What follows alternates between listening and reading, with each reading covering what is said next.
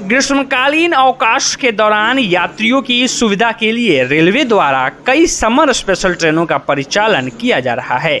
इसके बावजूद भी ट्रेनों पर भीड़ कम होने का नाम नहीं ले रही। लोग सामान्य ट्रेनों में सीट न मिलने की वजह से स्पेशल ट्रेनों पर सफ़र कर रहे हैं।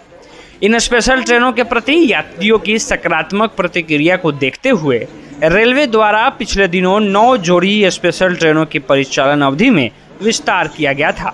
इसी क्रम में आज पाँच जोड़ी समर स्पेशल के परिचालन अवधि में विस्तार करने का निर्णय लिया गया है। इन पाँच जोड़ी समर स्पेशल ट्रेन में कटिहार से रांची और अमृतसर जाने वाली ट्रेन भी शामिल है।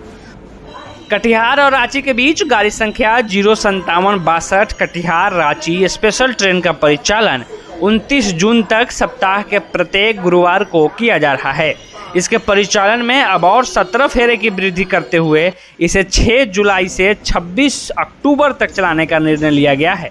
इसी प्रकार रांची और कटिहार के बीच गाड़ी संख्या ज़ीरो संतावन इकसठ, रांची कटिहार स्पेशल ट्रेन का परिचालन 30 जून तक सप्ताह के प्रत्येक शुक्रवार को किया जा रहा है।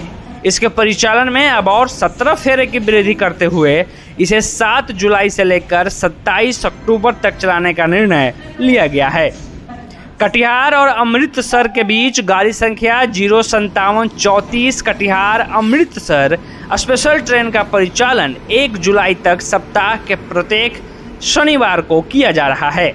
इसके परिचालन में अब और 17 फेरे की वृद्धि करते हुए इसे 8 जुलाई से लेकर 28 अक्टूबर तक चलाने का निर्णय लिया गया है।